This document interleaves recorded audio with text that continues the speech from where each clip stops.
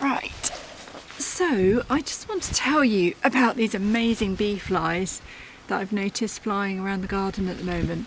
So we've got these beautiful dotted bee flies and they love the primroses. So they've got this lovely long proboscis so they're able to reach the nectar at the bottom of the flowers here. So they've got a really interesting life cycle. Like the oil beetles, they've got very interesting association with solitary bees. Now I know we've got quite a lot of solitary bees on the lawn here that mine down into the lawn.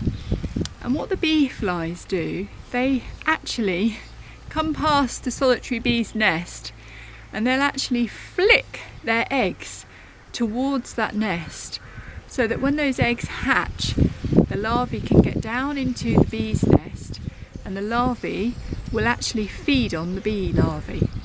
So very similar to the oil beetles.